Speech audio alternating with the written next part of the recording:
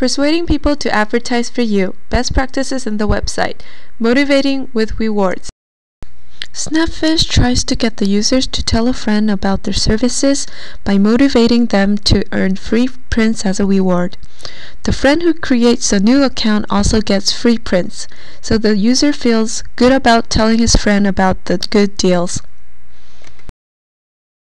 Snapfish simplifies the task of advertising their services to more people using a link.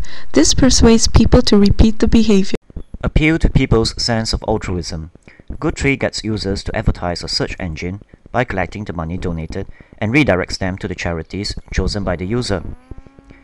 Users can choose to support any of the charities listed in Goodtree. This provides motivation to invite others to use the search engine. Empowering users. Participate.net is run by Participant Productions, a film company that produces documentaries with a social mission. To get users to broadcast their films and social causes, Participate.net uses several strategies.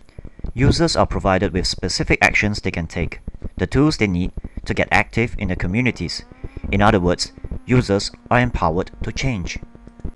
At the same time, users can add to their own blog entries to a community discussion of the various issues. By providing space for users and empowering them to take action, users are more likely to spread the word.